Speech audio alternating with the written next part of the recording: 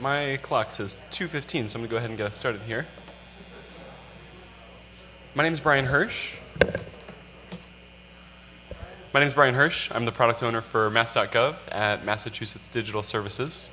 And I'm here with Moshe Weitzman, who's one of our technical architects on the project. I think we have a bunch of digital services people, as well as Palantir and Velir, who've been helping us in the room. Um, so uh, I'm here to talk about our journey to becoming a user-centric, uh, data-driven organization. And um, before I get started, I just want to see a show of hands to get a sense of who's in the room with us. Can I just see how many people here uh, work for a government agency? Wow. Uh, vendors, contractors for government projects? And anyone who does not do anything with government? Okay, great. Thanks for being here.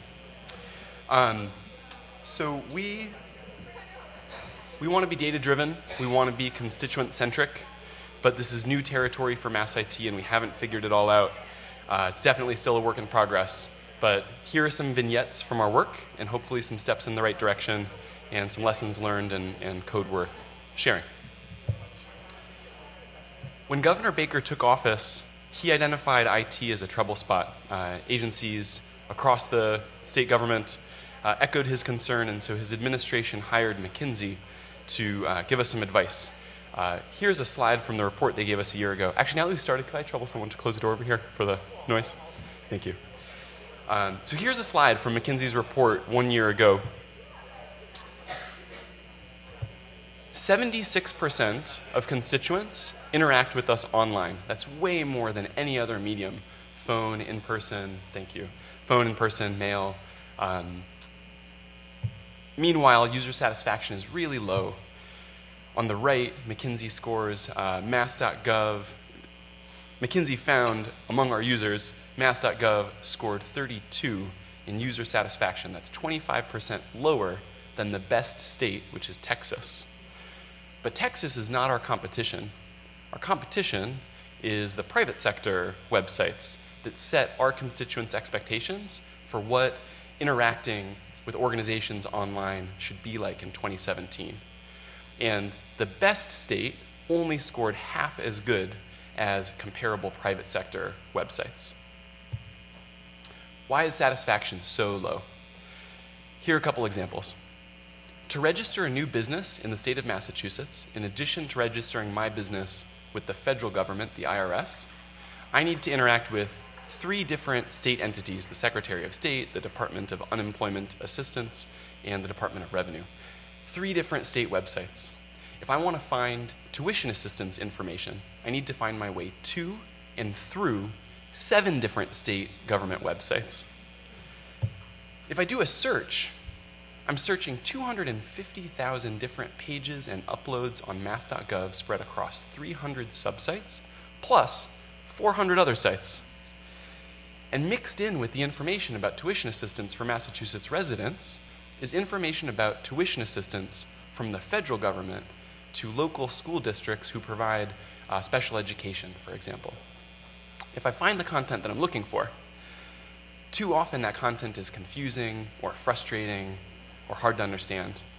We want content to be easy to understand. We want our constituents' experience to be fast and easy and wicked awesome we don't want constituents to have to understand the structure of the government bureaucracy to find the things that they need. So, fast, easy, awesome, this all sounds good, right? So, so where do we start? So, one thought might be we redo our visual design, uh, figure out how to reorganize our content so it's easier to find, rewrite some of the things that are not easy to understand. Um, let's say you know, some posts will take more time, some will take less. Let's say it averages out to about an hour's worth of work per post of unstructured content that we're interacting with to rewrite. With 250,000 unique URLs, that adds up to 7,000 business weeks worth of work. That is a paralyzing number. There's no way we can do that. So, after the McKinsey report, the governor brought new leadership to Mass IT, and they formed digital services the team that took over the Mass.gov project right as it was about to kick off. And they gave us two focusing requirements to jumpstart the project. The first one was start at the top. So there's this tried and true uh, management rule called the 80 20 rule. Uh, in economics, it's called the Pareto principle. And the idea is 20% of the content probably generates 80% or more of the value.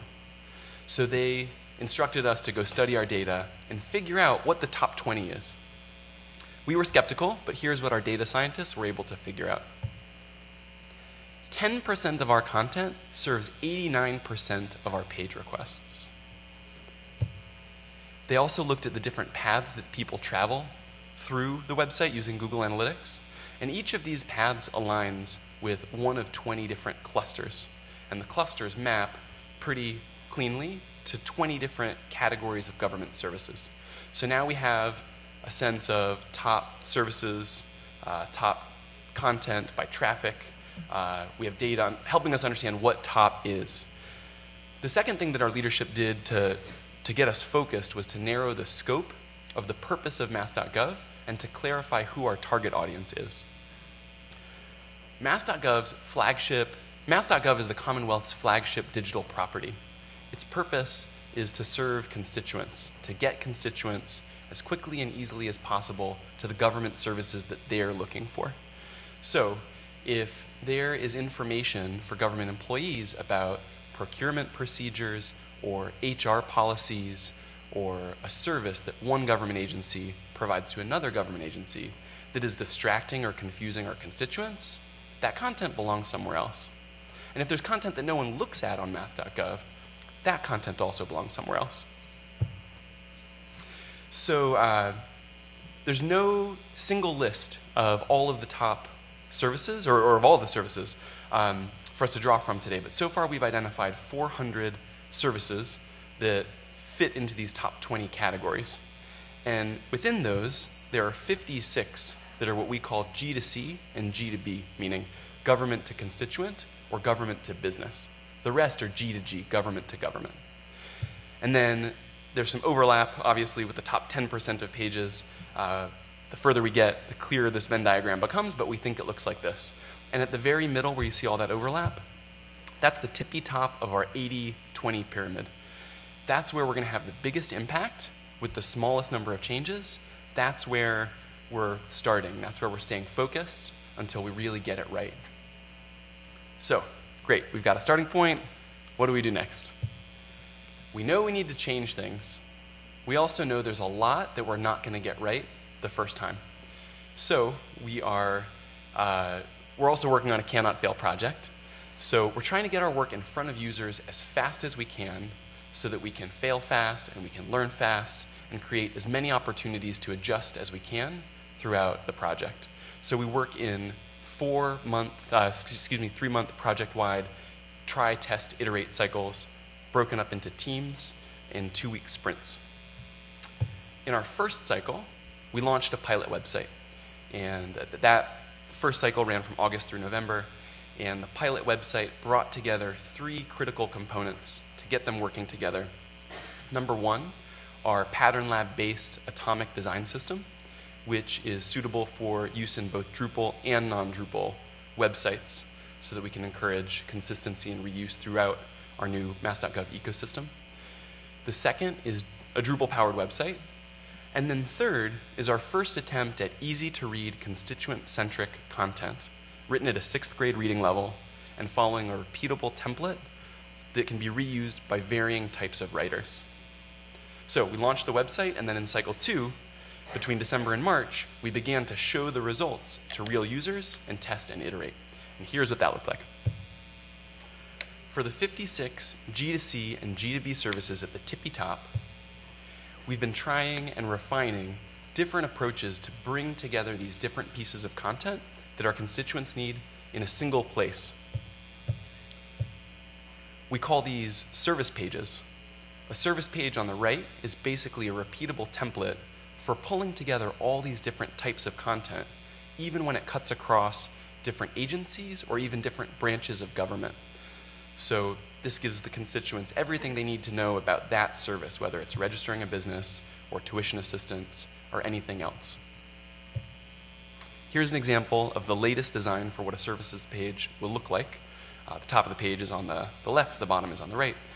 This is in development right now, And getting here and figuring this out and figuring out all of the different types of content that go into a page like this has taken a lot of testing and iteration, a lot of testing and a lot of iteration. So here's a look at how we've gone about soliciting different types of feedback and evolving from a proof of concept to something that's more polished. The AIGA, the American Institute for Graphic Artists, hosted a public design critique, first with their own panel of experts, which included the Drupal community's own Dani Nordin from Pegasystems, who I think is here. Um, and then they opened uh, it up to the audience of over 100 people, which included graphic designers, brand designers, user experience designers. And they gave us a lot of helpful, candid feedback. And actually, if you've noticed that there's no logo on the pilot site today, that's because we've really taken a lot of their feedback to heart, and we're still uh, working on that logo to, to refine it as a result. We used a tool called TreeJack to test if we've actually made the website easier to navigate. The test results from TreeJack, uh, many of them came back positive. Here's one where we had lots of room for improvement, though. In this test, we asked users uh, a question You're looking, excuse me, you're thinking of moving to Massachusetts with your family, which includes two children, ages 7 and 12. Where would you go to find information on schools? The pie at the bottom left represents users who found their destination in green and users who got lost in red. And then if you look at the pie tree on the right, you can see the paths the users traveled to find their destination. So we put information on schools under a top level menu item called learning. But almost half of the testers started at living, and many of them then got lost. So, um, happily, we figured this out in December, and so that gives us lots of time to tune things and get this right before we go live later in the year. We partnered with the Perkins School for the Blind to test for meaningful accessibility above and beyond basic Americans with Disability ADA compliance. Here you see a user interacting with a page that's WCAG 2.0 compliant. That's the, the latest, newest standard for ADA. Blind users who were navigating the site with a keyboard and a screen reader rather than mice and touch screens, excuse me, uh, using the keyboard to tab through the, the screen and screen readers rather than mice and, and touch screens, uh, had pretty positive reviews. Drupal 8 makes it a lot easier for our developers to control tab order with um, you know, for people who are navigating with keyboards. And using the new Drupal Announce API, it's also really easy for us to provide uh, audio cues to users using screen readers when there are changes on the screen, like new search results appearing or things changing. What compliance does not tell you, and what we saw in this test that you see here, here you see a, a low sight user who is navigating the web zoomed way, way in on their screen. And she never makes it from the main content area over to the right sidebar where there's critical information. For product testing by sighted users, we use a tool called Validately. Validately is a good fit for us because it recruits the testers for us and it lets us specify demographically diverse and representative groups of testers. We use Validately to test how the pages perform when a user gets to their actual destination. We wanted to know is it fast? Is it easy? Is it intuitive for people to figure out what to do to change their address or to respond to a summons or to start an application? Some interactions were confusing for both sighted and low sight users. And so that helped us zero in on high value opportunities to make improvements to the page layout. So here's an example where we revised the placement of the quick actions callouts that used to be on the right sidebar, and now you can see they're in the middle of these how to pages. Here you see the evolution of the how to pages parent page. We used to call these subtopic pages. They were basically just topical groupings of individual transactional services that the state provides online. Now we're reinventing these as something more, usable, more usable and more meaningful for our users, which we call service pages. And here you see related updates to the parent of the service page, which we call topic pages. So hopefully now these are going to be better at giving constituents the information they need to zero in on the actual service they're looking for and get there more quickly. Another focus for us has been search. to get people to their destination faster without confusion. 70% of our users start at Google and then go straight to an inside page. They skip the home page. To support a better search experience, we're following specifications published by Google, Microsoft, and Yahoo at a website called schema.org. This enables search engines like Google and also other sites like Twitter and Facebook to reuse content from our website in their applications. And then here in the left, in Google's knowledge graph, we were actually able to use a, a, tool that Google provides called Google My Business to manually enter some of this information and get some quick wins uh, to provide some of these experiences before the schema.org compliant content is even online. Uh, but once that content is online, our expectation is that more and more things like this are going to happen automatically. But to do this, we need to make the leap from unstructured data to structured data. In our legacy CMS, everything is a page, and all the meaningful content is mushed together into one big body field. And it's sort of mind bending for our authors to get out of this mindset of creating pages and think about creating chunks of content. And making this leap and doing it successfully is critical for search, it's critical for responsive design, it is important for changing something once that we want to appear in many different places.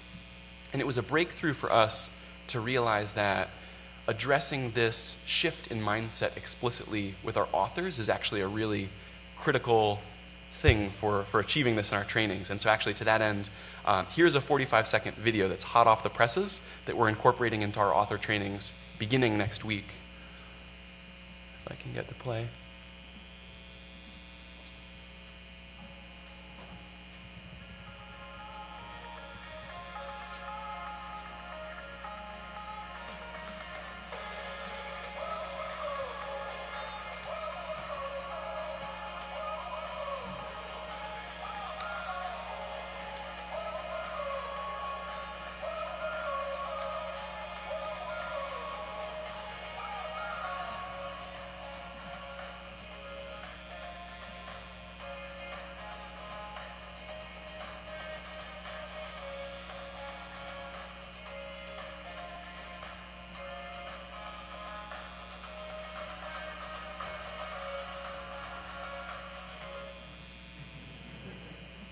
So we learned yesterday at the Gov Summit that um, sharing materials like this is something that we can do right away to start collaborating with other government agencies that have similar needs.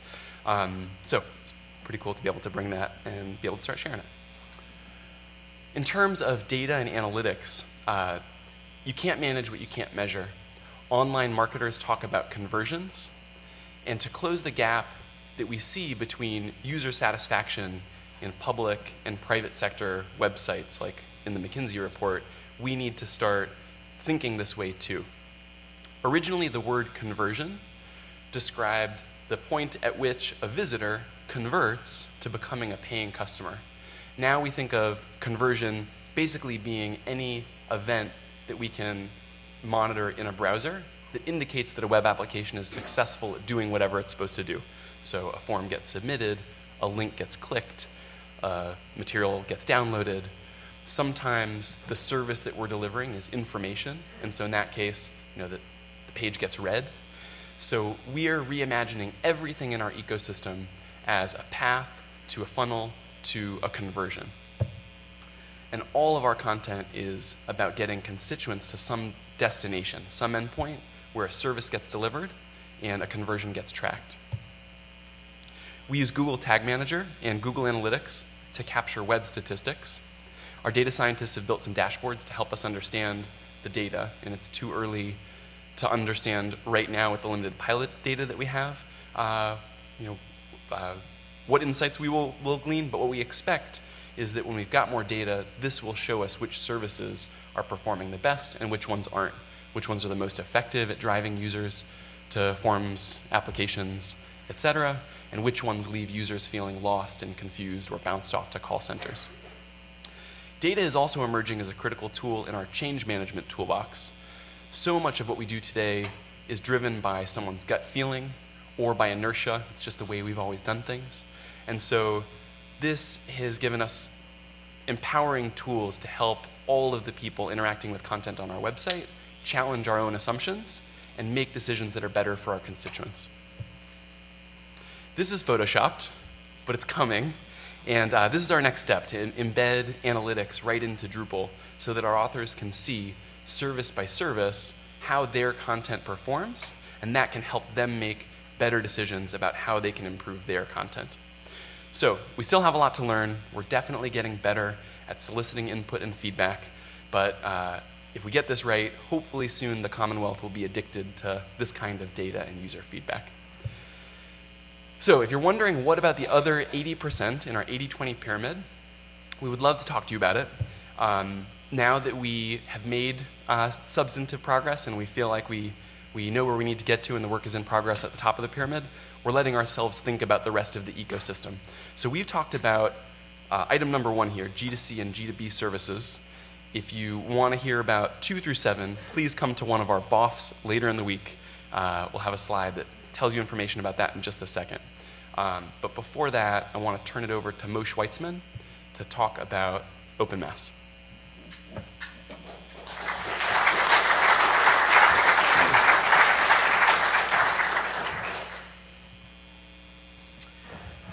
Okay, um, so you guys heard about uh, all the amazing journey mapping that was done to figure out what's important to the users and uh, found out about the rigorous design work that's been done and lots of good software development, um, all available and visible on pilot.mass.gov.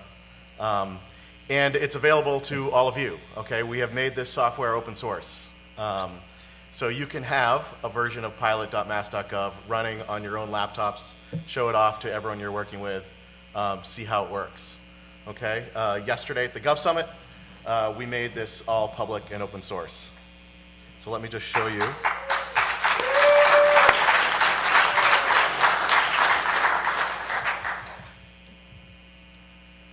Show you in a browser. Oh, okay. And then it's there? Yeah. I Can't totally tell. Okay. I think I'm there.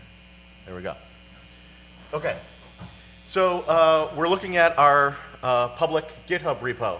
Um, you'll see at the upper left, uh, you can find that at mass.gov slash openmass.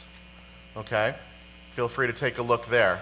Um, I've navigated uh, on the screen to the releases page. Uh, this is where you get your own copy of the product, okay? We're up to Alpha 2. Um, and uh, so what you'll do is click on that Alpha 2 link. It will download to your laptop. Um, and then it says follow the README for install instructions. Uh, the README is super simple. There's nine steps. Um, follow those. If you get stuck, just contact me. I really want people to try this out and give us feedback. So feel free to ask me for support. Um, and uh, you know, for anyone who wants to join in and help out, um, there are uh, public issues there. You can write issues, which we'll respond to. You can make pull requests for the software there. Um, you'll find quite a modern uh, composer-based project there based on Drupal 8. Okay? And that one. Okay. Okay, so uh, just some links for you guys uh, in closing. Um, pilot.mass.gov is live now. That's where all this experimentation is open to the world. Please take a look. Um, we have some information on Medium. Um, we have uh, a form for you to collaborate with us. Okay, so that's that bit.ly link. Um, please fill that out and uh, we'll get back to you. Um, and then the open mass slash releases that I just showed. All right, those are the key links.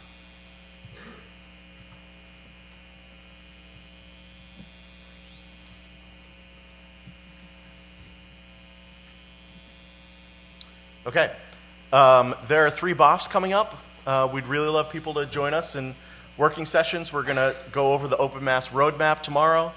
Um, we're going to do a workshop where we help people install, um, take a look at the Pattern Lab design system that we've built called Mayflower, um, and also Superset and other tools like that that we've mentioned. Um, and finally, we're going to be sprinting Friday morning if anyone wants to join.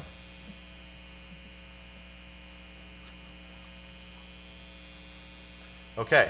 Um, we'd love your feedback on this session. Uh, let us know how we did. Um, and uh, I think we're open for questions just for uh, a few minutes. We have five minutes? Okay, five minutes of questions, then we'll turn it over to the next presentation.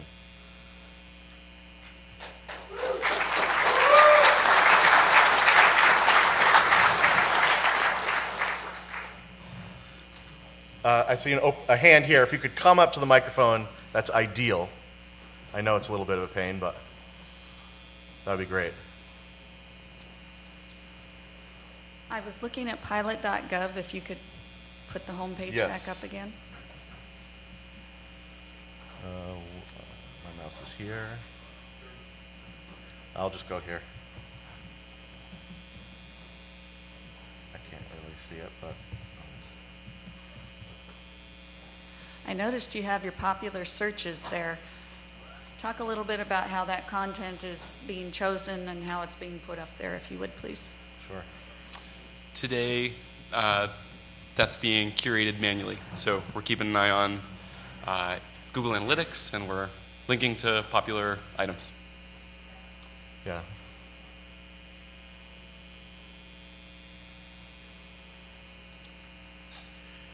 Someone's got to have a tougher question than that.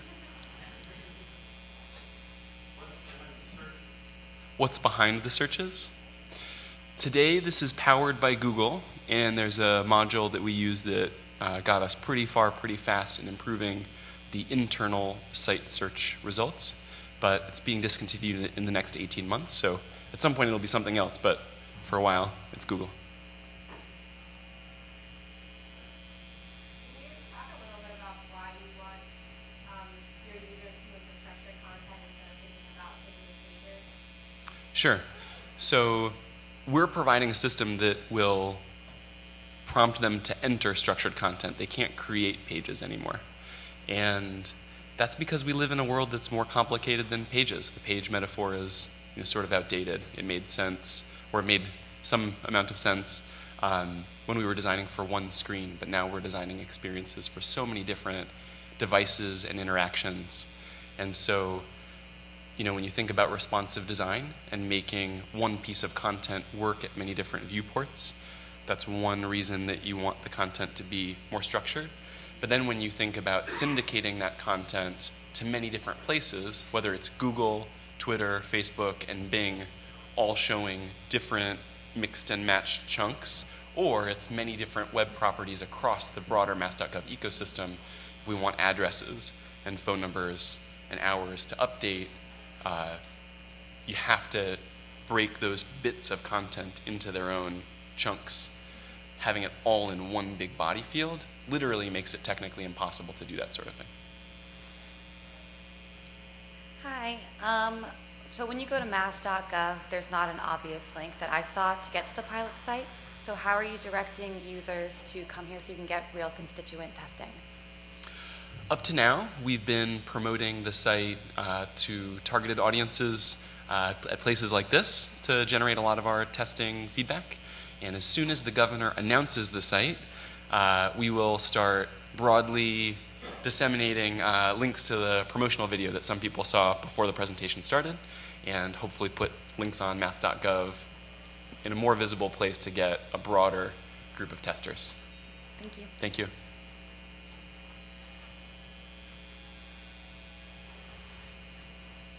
Yep.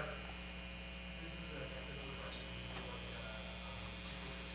What would you say was your biggest or any challenge in terms of really finding user-centered work that you're doing in the, in the context of the bureaucracy that wants to put its um, structure on things like this?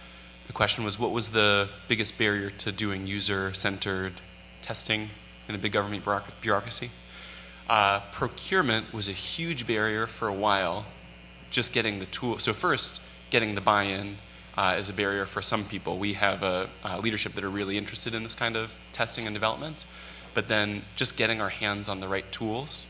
And then getting in front of the right users, getting in front of a representative group of testers is, is not trivial. And, and so, validately, uh, getting to actually procure that and then let them recruit the right group uh, was a real breakthrough for us. All right, we have to cut it off there because the next group needs to get on. Thank you so All right, much. thanks everyone for coming. We'll see you at the Boston Sprints.